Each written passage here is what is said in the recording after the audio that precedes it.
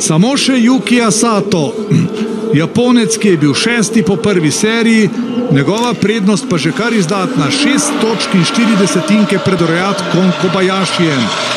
231 in pol je poletel v prvi seriji, še en silovit odriv Yuki Asata, Ja, tako daleč do vodstvo. Opala, opala. 235. Skoraj padel. Ja, imel je kar srečo.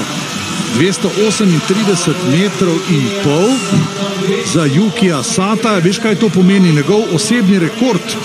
Za en meter je popravil osebni rekord, ocene pa med 12 in 17 in pol. Ja, no, sodnik, poglejva. sodnik D je videl, da je padel, to je polski sodnik Bafija.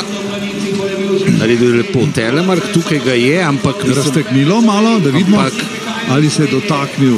Ja, z zadnjo ja, platjo. se je, se zgleda, da je uh, te dva sodnika, ki sta dva, 12 in 13. Samo slovenski sodnik Jošte je malo pogledal v levo, pa mu je dal 17,5. Yuki Asato je na tretjem mestu.